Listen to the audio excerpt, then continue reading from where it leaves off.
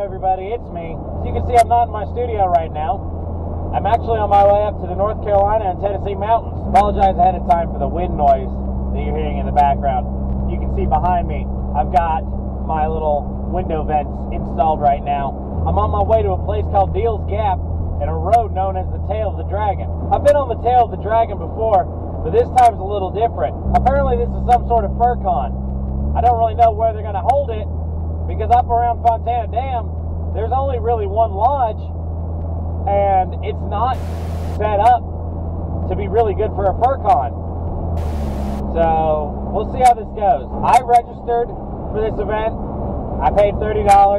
It's up to 40 now. Not really sure what that money's going to. I kind of got a very vague answer when I asked. I was really hoping this was going to be a group of furries driving their cars on the tail of the dragon, but it seems a lot of people are under the presumption that this event, even though it says Dragon Takeover, has nothing to do with driving the tail of the dragon. So much so as people are getting offended that car furs are talking about driving the tail of the dragon in the group chat. Another concern I'm having with this event is the weather. Looking at the schedule, it seems like pretty much everything is happening outdoors with no sort of backup for indoor events if it rains. Now, this event runs Friday, Saturday, and Sunday. I'm only able to make it Saturday because I learned about this event kind of last minute from a car friend of mine.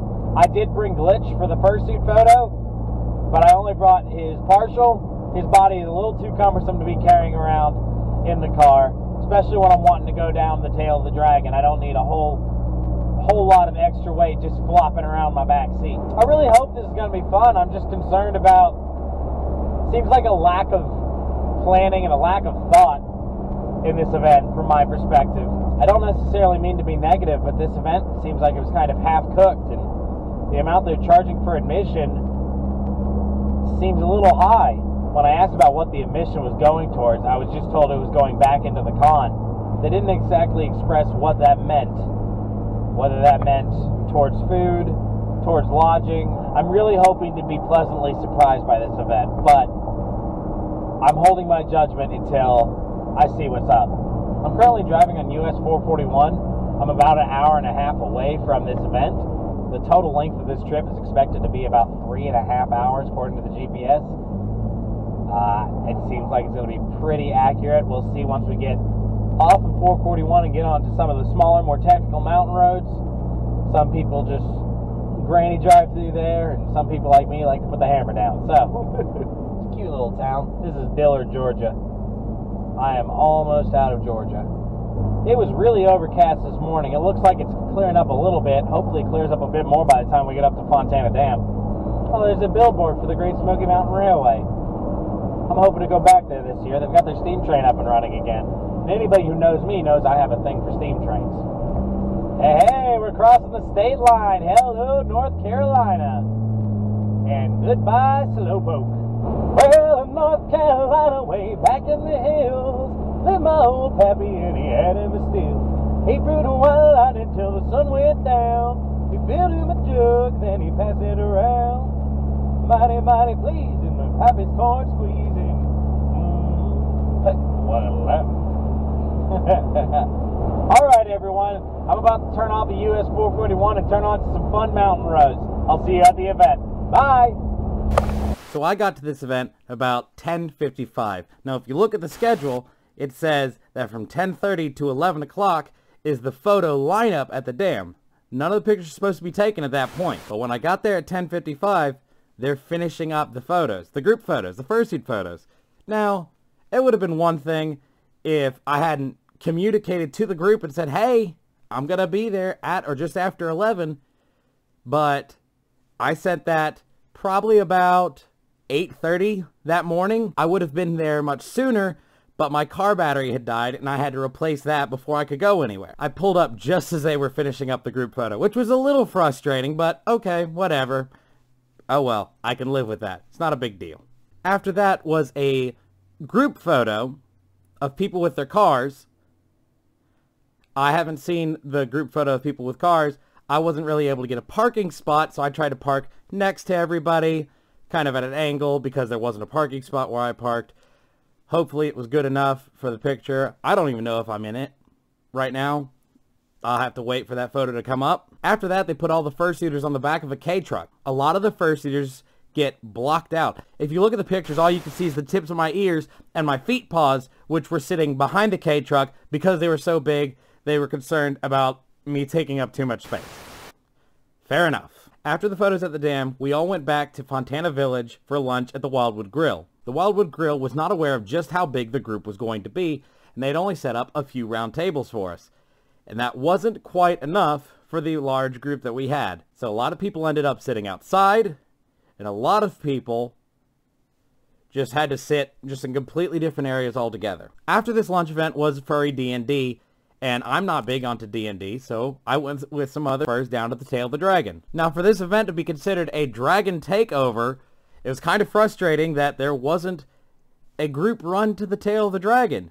That's a missed opportunity, if you ask me. Get everybody with their fur cars and run down the dragon together? Seems like a lot of fun to me. It wasn't even in the schedule. Now, don't get me wrong. I had an absolute blast on the tail of the dragon. Went riding with some friends and some friends of friends. I'm going to throw some footage in now.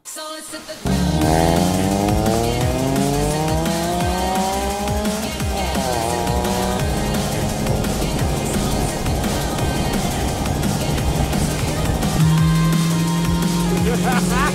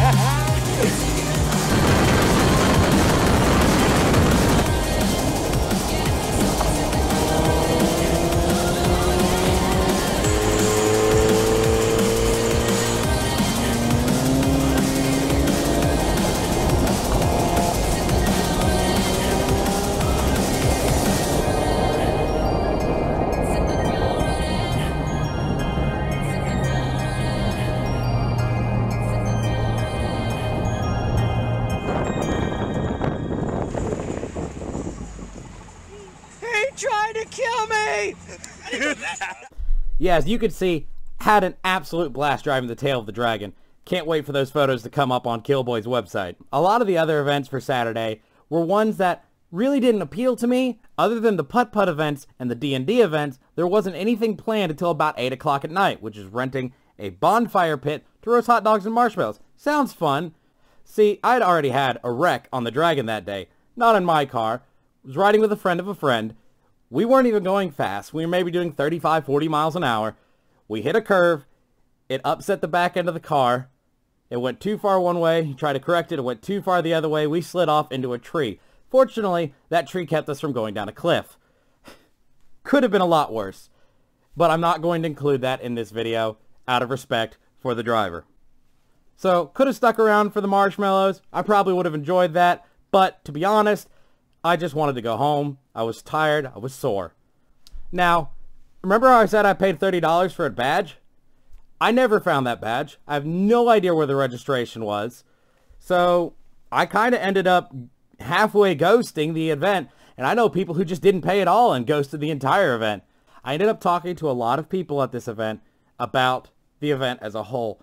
And a lot of people kind of shared the same sentiment that it didn't necessarily work as a con. Now, I understand this is this event's second year running, but it really needs to get a more concrete plan. First off, you need to run by the schedule. If you say the fursuit photos at a certain time, it needs to be at a certain time. And you need to pay attention to the group chat if you've got a group chat. There was a lot of furs, particularly the young furs, saying that this was their first fur con and they were kind of disappointed because it wasn't what they expected. It wasn't a good example of a fur con. It was a fun enough event, but it wasn't a good example of a fur con and I feel like that is where this event made a mistake.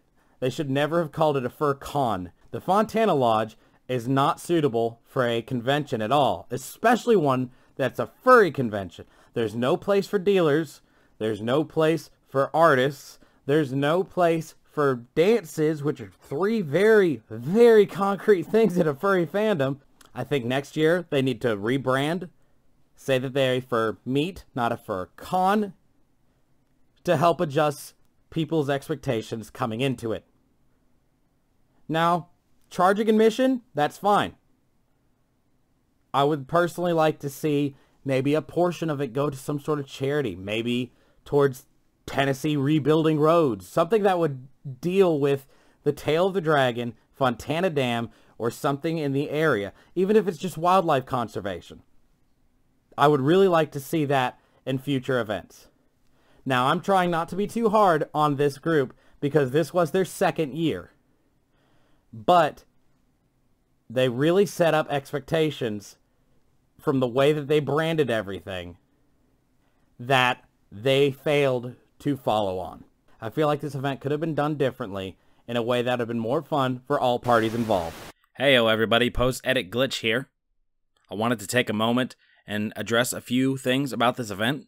While I saw a lot of people complaining about the event as a whole, I saw just as many, if not more people, thoroughly enjoying themselves. So this review isn't necessarily how you might feel if you're attending this event. I personally did not enjoy myself, but that doesn't mean that anybody else coming in would not enjoy themselves. I really would like to see this event grow into what the creators of this event are picturing in their heads. My concern stands that this isn't necessarily the best venue, but there isn't really a lot of options in this area either. I personally believe the furry community does not have enough options for car meets and other things catering to furries that are into cars. I would like to run an event on the Tail of the Dragon as well. However, it won't be a convention. It would be more like a fur meet and greet and then a convoy run through Tail of the Dragon, through the Cherohala Skyway, maybe the Devil's Triangle, some of the other well known roads around here. I don't do this as an intention to step on the toes of anybody creating this event. I just personally would like to see more car fur events and I'm sure I'm not the only one that feels that way. So, to the people that made this event, congratulations. It looks like it turned out to be pretty successful. I hope your future events continue to be just as successful. I feel like maybe I didn't attend this event with the right mindset, and I will probably come back again to reevaluate this event. That being said, that's about it for this video. Sorry that this was a little more negative than most of my videos, and I'm sorry that it's been a while since I've made a video. It's been very hard to come up with content because I'm trying to stay away from producing video game content. After I got some copyright strikes, to be honest, it kind of spooked me. So, that being said, that's it. I'll see you in the next video. Keep hopping.